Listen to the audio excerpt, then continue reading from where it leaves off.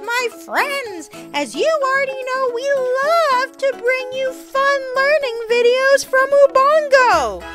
And now my friend Akili is gonna bring you more fun learning content from across the world. Here's one we think you'll love.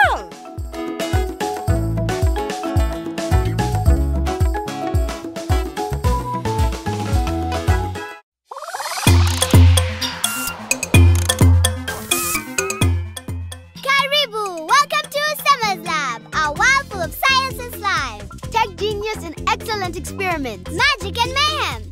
Facts and fun. And today, check out how to do this. Wow! Wow! Over to Stycie and Seth. Seth, what is that? It's a raw egg. What? It's a raw bounty egg, and we're gonna make it in today's experiment. Yay! Let's get started. So for the glowing bouncing egg, we're gonna need three glasses, Vinegar, spatula, stirring rod, three raw eggs, food coloring. and a flashlight. First, we're going to pour the vinegar into three of the glasses. till about halfway. Then we're gonna take the food color and uh, I think this is brown. Looks like red. Oh, Oh, it's yeah, brown. brown. And Now then- we're gonna stir. Yeah, and then I'm gonna add the red, orange. I'm not sure what this is. Yeah, that's ah, I orange. was right. Now we're gonna mix. And we're gonna leave this one without any food color. Yes. Now we're gonna add the eggs into the jars And very slowly to make it. and fully submerge the egg in the vinegar. Yeah. Oh yes. It looks bigger. Yeah, it looks bigger inside the glass. But yeah, this one you can't even see the egg anymore.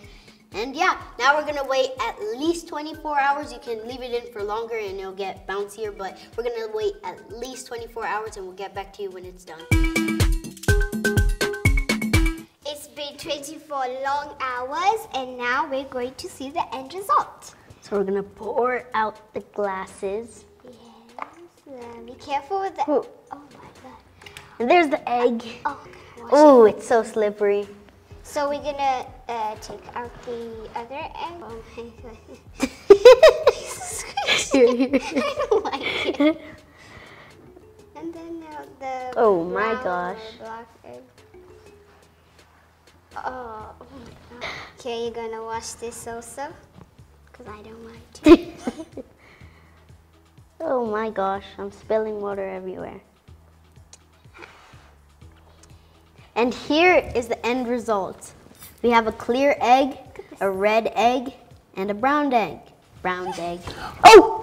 Oh no! Well, yeah, that's one of the things that will happen. So, um, that's why we get three because they're very squishy and break very easily. So, we're gonna take a torch and put it under. And I did not wash this correctly, so it's not showing anything. Oh, okay. Lucky for you, I always keep it.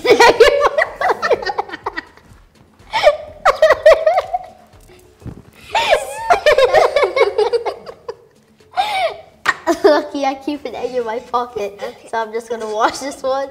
The light is shining through the egg and it makes the egg glow and it's really cool. And let's test Okay. it with, oh yeah. Try this one. So um, now that there's a flashing light, looks like a flashing light, but it's just an egg.